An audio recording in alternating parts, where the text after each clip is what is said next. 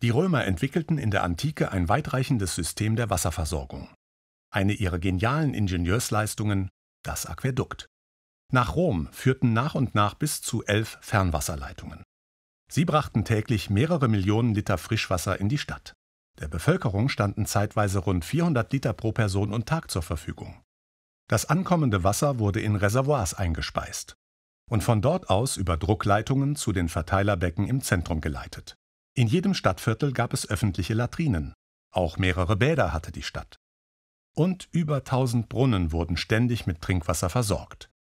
Damals galt Sanus per aquam, gesund durch Wasser.